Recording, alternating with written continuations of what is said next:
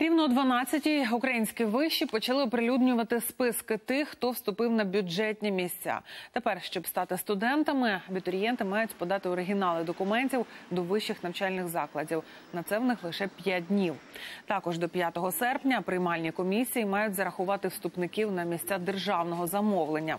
На контрактну форму навчання зарахування відбудеться не пізніше 30 вересня.